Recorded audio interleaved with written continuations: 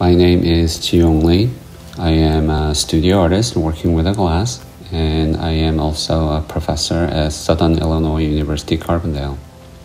In this translucency exhibition, I am showing two works black and yellow embryo segmentation and orange and gray cell mitosis. When I saw big mess of solid glass blocks with the tiny bubbles and cores inside, I was immediately drawn into the visual effect of the material because they remind me the images of microcosm in the biology textbooks.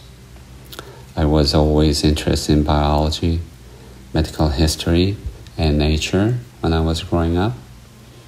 These two works are made with a clear glass blanks then cut and reassembled with the colored lamination layers, then finished with the carving and sanding on the surface by hands.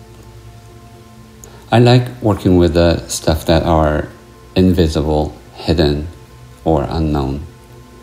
My segmentation series is inspired by my fascination with the cells, embryos, and other microscopic creatures in nature especially their process of development, their complexity and beauty in their internal structures.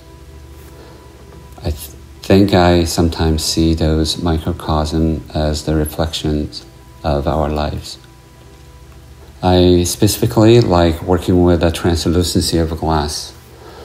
The layer of translucency immediately accentuates the mystery of the object to me, translucency is coexistence of seeing and not seeing, and that is coexistence of knowing and unknown metaphorically.